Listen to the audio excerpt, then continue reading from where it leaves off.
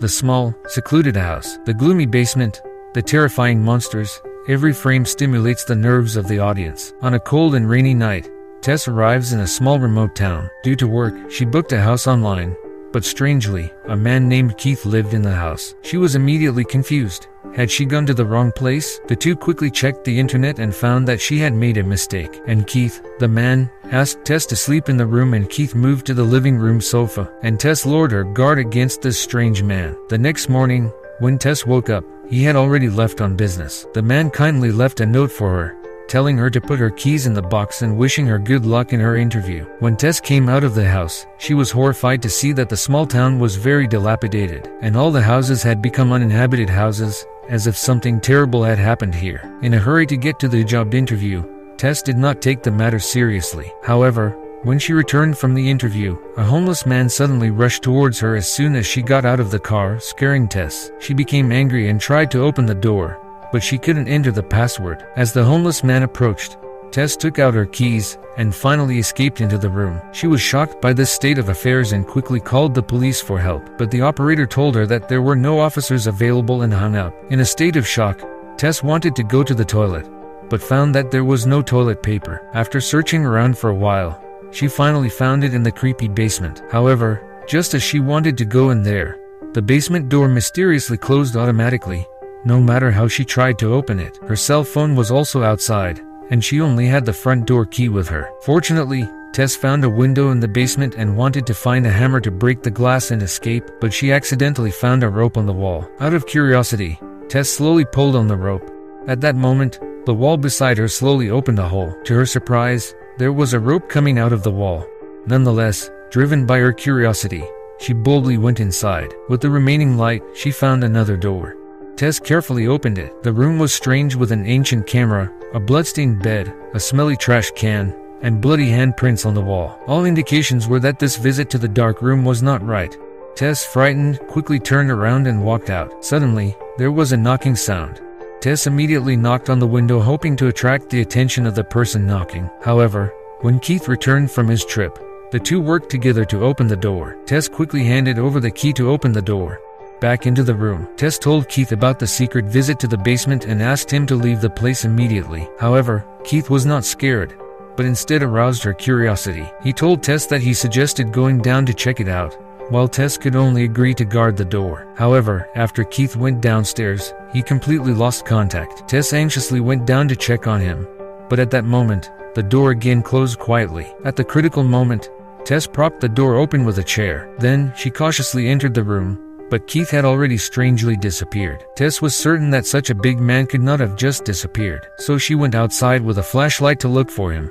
Soon, she found a door in the wall. When she opened the door, what she saw was a deep and endless dark path. Tess suddenly had an ominous premonition. She screamed Keith's name at the top of her lungs, and finally, there was a weak answer from below. Tess could have left, but her kindness kept her from doing so. After an inner struggle, Tess still chose to go down to save Keith. Fortunately, she made it safely to the bottom. She found many rusty iron cages laid out below, as if something terrible had happened here. Tess screamed for Keith with sobs, terrified. Suddenly a figure ran out of the darkness. It was Keith who was running away. He said that there was a horrible monster below that had just attacked him and now he was guarding the exit. When the two were still arguing, a black shadow suddenly appeared from the darkness, hitting Keith on the head, and Tess was trapped. Then the monster disappeared into the darkness towards Tess, and it is unknown what happened. A few days later, a man came to the house. The man's name was AJ, a fairly famous actor. He was the owner of the house. He became poor because of a lawsuit but he didn't know for sure that it was his house. Something went wrong with the house when he came home and didn't realize there was a crazy monster. The basement door was locked and the house was full of foreign objects. He thought there were people hiding in the basement, so he took the weapons at hand and entered with a flashlight. Nothing unexpected happened. He also pulled the rope on the wall and found something strange, which was surprising and a little happy, thinking he could make more money. He quickly picked up a fully automated storage bin, but accidentally found a deeper secret passage. He became more enthusiastic and only wanted to find more, completely ignoring the hidden dangers. Suddenly, he saw a light at the deepest point. When he approached, he saw that the room was messy and a TV was playing a children's video. When he was confused, he was suddenly pulled by someone, scaring him, and he finally realized the danger. He turned and ran, almost bumping into the monster, then suddenly fell into a trap. The monster also closed the exit door, and he was shocked. Tess is not dead and is still alive. She had become a specimen and had to follow the monster's will, otherwise she would most likely lose her life. Suddenly, the monster lowered the large metal cover. Tess quickly climbed onto it, not wanting to die. It seemed that she had figured out the monster's intention to treat them like children who had to be fed. AJ, being an actor, didn't want to drink anything that could kill him. At that moment, the monster suddenly jumped up and threw something. Meanwhile, Tess secretly escaped the trap but was accidentally noticed by the monster and was immediately chased. Tess ran to the door but it was locked.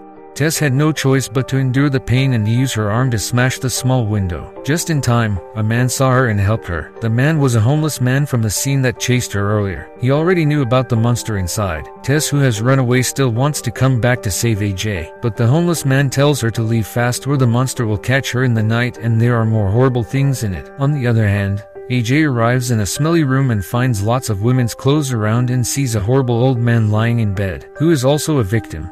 AJ kindly reminds him that monsters will find this place soon. The old man listened quietly, as if he wasn't afraid of anything. The police had arrived here, but the police found nothing and said there was something that needed to be done. And then the police left, leaving only Tess waiting to die here. Meanwhile, there are new discoveries here.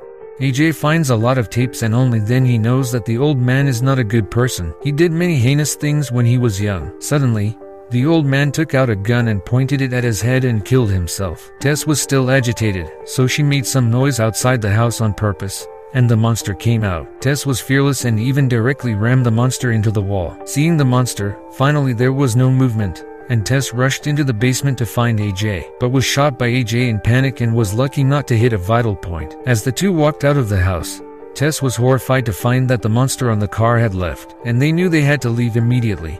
On the way, they meet a tramp who takes them to his safe house. He then told the story of the monster.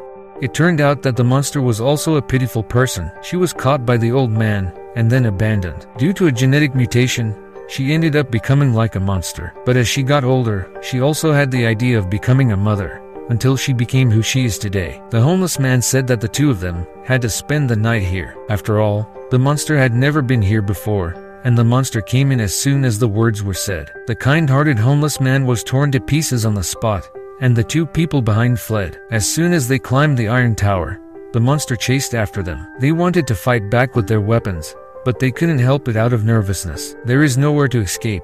The man suddenly had a sharp look in his eyes, and he pushed Tess down. But at this moment, the monster that had taken Tess as its child jumped up and caught her before she could land. AJ comes to them both apologizing. But before Tess could speak, the monster suddenly stood up and killed AJ. The monster already considers Tess as a child and loves her, but Tess takes the opportunity to shoot and kill the mad monster and the movie ends. If you liked this video don't forget to subscribe, because by subscribing you have supported me to make better videos. What movie do you want next? Just comment below. Have a nice day.